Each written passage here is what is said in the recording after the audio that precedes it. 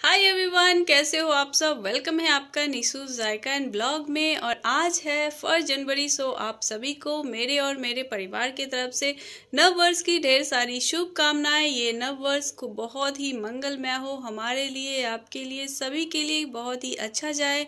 ढेर सारी खुशियाँ मिले सक्सेस मिले, सभी लोग सेफ़ रहें, सुरक्षित रहें एंड ऐसे ही प्यार एंड सपोर्ट बनाए रखें मेरे सभी वाइटी फैमिली को। Happy happy happy new year bye Bye.